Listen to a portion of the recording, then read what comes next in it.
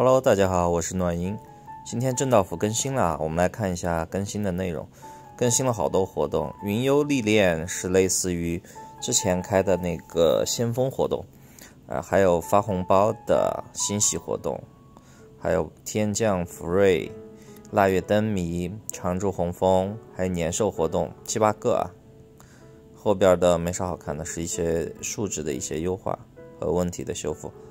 啊，我们来看一下具体的活动。呃，这个红枫活动可以说是很爽的啊。直接是活动当日十二点、十八点、十九点一直发红包，然后口令红包，大家可以看这个奖励啊，最高的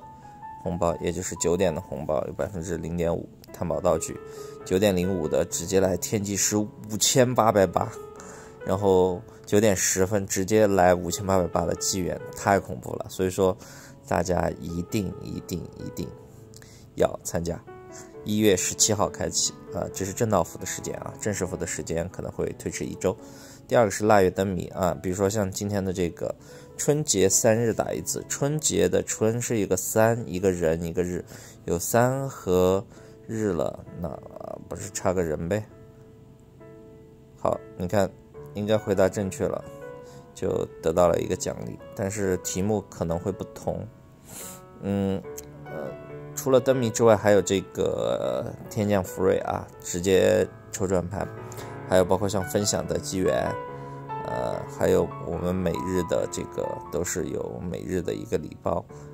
呃，可以看到礼包的东西都不一样啊，都不一样，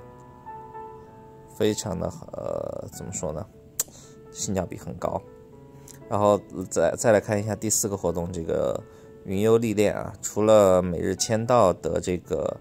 呃，先破和以前一样之外，还有临时的一个翻倍，所以说大家需要在正式服的时候多存一点银魔箱，啊，直，那然后把开放的周一到周四把自己的矿的时间，挖矿的时间全部挖掉，然后等到一开放这个双倍零食，就直接开一模箱，直接吃香，直接那个呃刷双倍，然后。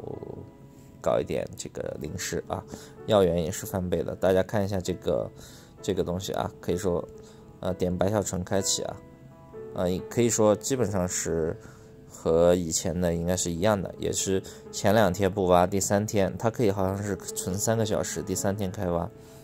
然后历练这东西我就不说了，这些一般大家都是拿满的。然后这边是一个礼包，可以看到。奖励还是很诱人的。如果我选的话，我应该是